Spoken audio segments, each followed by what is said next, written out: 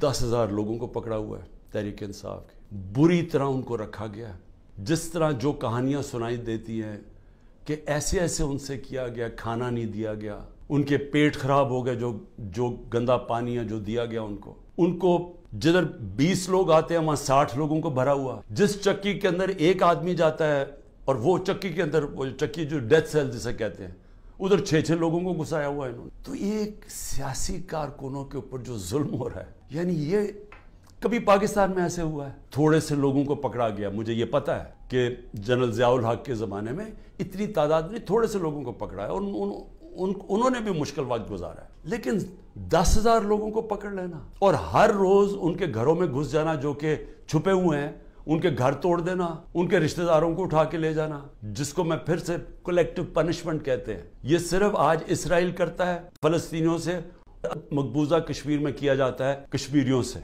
लेकिन अपने लोगों से कोई दुनिया का मुल्क ये नहीं करता। इमरान रियाज, इस मुल्क का वो सहाफ़ी था जिसको यूट्यूब पे सबसे ज़्यादा देखा जाता था। उसका अभी तक पता ही नहीं वो किधर है। और हम सबको खौफ है कि उसके ऊपर तशद इतना किया है कि ये उसको सामने नहीं लेके आ रहे। अदालतें बुला रही हैं, वो नहीं आ रहा। और जो फिर हमारी अदालतों से हो रहा है इस वक्त, बिल्कुल अदालतों को इन्होंने ऐसा किया कि उनकी उनकी कोई हैसियत ही नहीं है। एक इलीगल एक केयर टेकर गवर्नमेंट जिसकी कोई लीगैलिटी नहीं है, कानून में कोई हैसियत नहीं है आइन में कोई हैसियत नहीं है, वो बैठे हुए ऊपर। और वो केसेस पे केसेस इंतकामी कार्रवाई। यानी केयर टेकर का मतलब ही होता है वो न्यूट्रल होते हैं। या न्यूट्रल का भी एक और मायना हो गया, जो न्यूट्रल भी कहते हैं, वो भी जुल्म कर रहे हैं एक एक ही पार्टी के ऊपर। मैं डेढ़ सौ तो क्रॉस कर ही चुका था। छह केसेस जब मैं जेल के अंदर था जब मैं नज़रबंद था, उस वक्त मेरे ऊपर छह और केसेस किए गए और आज दो और केसेस आ गए। लेकिन मैं सिर्फ़ ये जो कोयटा का केस है, मैं ज़रा सिर्फ़ अपनी कौम को बताना चाहता हूँ कि यहाँ किस तरह का मज़ाक हो रहा है। मुझे सिर्फ़ इतना पता है कि बलूचिस्तान में किसी ने केस किया हुआ है और वो ऐसा फुलिश केस है कि उसकी कोई हैसियत ही नहीं है। उसके ऊपर मैंने कभी तवज्जो ही नहीं दी। वो केस क्या है? कासिम सूरी रूलिंग देता है कि जनाब ये मुरासला, ये जो साइफर आया है वहाँ से, इसके होते हुए बैरून मुल्क की मुदाखलत हुई है हमारे अफेयर्स में। और उसमें लिखा हुआ है कि इमरान खान को अदम अतमाद में शिकस्त हो। ये मुरासले में लिखा हुआ है, जो कि वो डोनल्ड लू और हमारे एम्बेसडर के बीच में बातचीत हुई, जो कन्फर्म किया गया पाकिस्तान की सिक्योरिटी काउंसिल ने। फिर जब शबाज शरीफ बना प्राइम मिनिस्टर, फिर सिक्योरिटी काउंसिल में एम्बेसडर को असद मजीद को बुलाया गया। उसने बैठ के कहा कि हाँ ये मुझे डोनाल्ड लू ने कहा था कि इमरान खान को हटाओ प्राइम मिनिस्टरशिप से। और ये अदम अतमाद में उसको फेल करो। और अभी अदम अतमाद दर्ज नहीं की गई थी असेंबली के अंदर। तो कासिम सूरी ने उसको सामने रखते हुए कहा कि इसके मुरासले के होते हुए मैं ये नहीं इस वक्त आगे असेंबली को बढ़ने देता। उसके ऊपर मैंने असेंबली डिजोल्व कर दी और मैंने इलेक्शंस कॉल कर दिए। अब ये आदमी कह रहा था कि वो जो इलेक्शंस मैंने कॉल किए हैं, उसके ऊपर आर्टिकल सिक्स लगना चाहिए। तो सुप्रीम कोर्ट ने तो पहले ही रूलिंग दे दी थी। उन्होंने तो उसका सिर्फ़ कासिम सूरी का जो रूलिंग थी उसको उसको उन्होंने अनलॉफुल डिक्लेयर कर दिया। उस आदमी का वकील का कत्ल होता है। फैमिली सारी कहती है कि खानदानी दुश्मनी थी, उस पर कत्ल हुआ है। पता चलता है कुछ साढ़े नौ बजे उसका कत्ल होता है।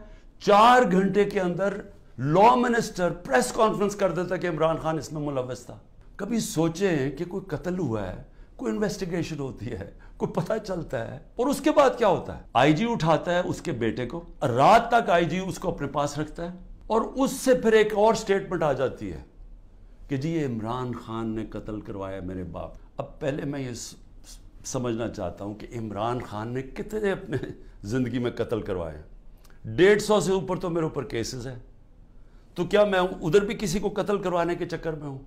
और वो केस जिसने आगे बढ़ना ही नहीं था, जो मेरे वकीलों ने भी कहा कि जिसने, किस तरह आर्टिकल सिक्स मेरे ऊपर लगा सकते थे, जबकि सुप्रीम कोर्ट ने रूलिंग दे दी थी उस पर अब ये सोचे कि उसके ऊपर, मेरे ऊपर इन्होंने 302 का मुकदमा कर दिया और मेरे ऊपर कत्ल का केस कर दिया। वाज है मुझे, नज़र आ रहा है कि क्या करना है। हमारी अपनी एजेंसीज इंफॉर्मेशन देती थी। आई एस आई बताती थी कि इन्होंने क्या क्या इनकी प्रॉपर्टीज़ है। उससे पहले भी देती थी। जब इनकी दस साल दोनों ने हुकूमत की, तब मिलती रही। उनके ऊपर तो कोई इस तरह की चीज़ें नहीं हुई। वो जेलों में भी रहते थे तो वो आराम से रहते थे। वहाँ तो कोई इस तरह का ज़रा ज़रा इनके, देखे तो सही माजी में कि इनके ऊपर केसेस क्या थे और ये रहते कैसे थे और इनके ऊपर क्या हुआ। यहाँ मुझे बताएँ कि ये कोई केस है, कोई मानने, कोई मानेगा पाकिस्तान में कि इमरान खान ने जाके कोटा में कत्ल करवा दिया किसी को, क्योंकि उसको डर लगा हुआ था कि वो केस कामयाब हो जाएगा। और फिर कितने, यानी माजी भी है राना सनाउल्ला का तो ये आबद शेरली का बाप कहता है, अठारह कत्ल किए हैं इसने। फैसलाबाद में जाए, वो कोई, उससे ज़्यादा कत्ल बताते हैं। शबाज शरीफ की तो रिपोर्ट है ह्यूमन राइट्स की या और या एमनेस्टी की, कि इसने सतानवे से निन्यानवे तक 770 लोगों को पुलिस मुकाबले में मरवाया इसके ऊपर तो आबिद बॉक्सर ने टीवी पे आके कहा कि इसने कत्ल करवाए इमरान खान के ऊपर बताएँ, किस कब किसने कहा, किसी को कत्ल किया? तो ये जो कत्ल का केस इन्होंने किया है, इसका मकसद ही एक है कि किसी ना किसी तरह इमरान खान को पकड़ लो। और मैं अब कल इस्लामाबाद जा रहा हूँ मैं तो पूरा तैयार हूँ। मैं तो तैयार हूँ कि फिर से मुझे ये पकड़ेंगे। अब आपको समझ आई कि मैंने 27 साल इंसाफ की तहरीक क्यों शुरू की थी? क्योंकि ये जो हमारे से हो रहा है, जो मेरे से हो रहा है, जो मेरे लोगों से हो रहा है, ये पाकिस्तान के आम आदमी से हर वक्त होता है जब ताकतवर के सामने वो खड़ा होता है। ज़िले शाह ज़िले शाह को पुलिस उठा के लेके जाती है। उसको तीन लोगों को छोड़ देती है, वो गवाह थे। उसको ले जाती है उसको लहदा ले जाती है। उसके बाद उसकी लाश पड़ी हुई मिलती है सड़क पे, जो कि कोई उठा के जाके सर्विस हॉस्पिटल ले जाता है। एक मिल जाता है 302 का। उसकी सो उसके ऊपर मुझे कहते हैं कि मैंने उसे कत्ल किया। उसके बाद रिपोर्ट आती है तीन दिन के बाद। पोस्टमार्टम रिपोर्ट आती है जिसमें बताता है कि 26 जगह के ऊपर उसके ऊपर तशद किया गया। 26 जगह पे। तो एकदम वो घबरा जाते हैं क्योंकि वो तो कस्टडी में था। तो मैंने कैसे उसके ऊपर तशद किया होगा? लिहाजा वो फिर रिपोर्ट चेंज होती है। एक्सीडेंट बताया जाता है। और एक्सीडेंट में फिर मुझे मुलवस कर देते हैं कि शायद मुझे कोई इंफॉर्मेशन थी और मैंने बताई नहीं। ये हो रहे हैं केसेस यहाँ आज। मैं तो जेल के लिए तैयार हूँ और हर चीज़ के लिए तैयार हूँ। लेकिन मैं कभी इस जुल्म और इस ताकत के हुक्मरानी के सामने कभी नहीं झुकूँगा। और मैं आज आप सबको कहता हूँ, आपने कभी नहीं झुकना। क्योंकि एक मेरी बात याद रख लेना, जिस दिन आपने इस जुल्म को कबूल कर लिया और ये नाइंसाफ़ी के निज़ाम को, मुल्क नहीं रहेगा। मैं आखिरी सांस तक इस जुल्म के निज़ाम का मुकाबला करूँगा। जब तक मेरे मुल्क में हकीकी आज़ादी नहीं आई, मैं उसकी जद्दोजहद करूँगा, जो मर्ज़ी कर लेंगे जेलों में डालें, जो मर्ज़ी करें, धमकियाँ दें। सिक्योरिटी मेरी सारी ले ली है। जो जो मेरा सिक्योरिटी का जो जो चीफ था कर्नल आसफ वो गायब हुआ हुआ है।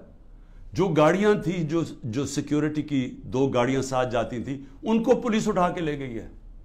यहाँ सारा, जो हमारे साथ, जो अहमद न्याजी, जो भी लोग थे, सब छुपे हुए हैं, क्योंकि उनके ऊपर एफ़ आई कर दी है। और फिर ये समझते हैं कि शायद इसकी वजह से मैं इनके पास जाऊँ और कहूँ कि जी मुझे माफ़ कर दो, कि मैंने आज़ादी की बात की थी, मुझे माफ़ कर दो। और मैं आप कौम को भी कहना चाहता हूँ, कभी ना इस निज़ाम को कबूल करना। जिस दिन आपने इसके सामने अपना सर झुका दिया, आपका कोई मुस्तकबिल नहीं रहेगा पाकिस्तान में।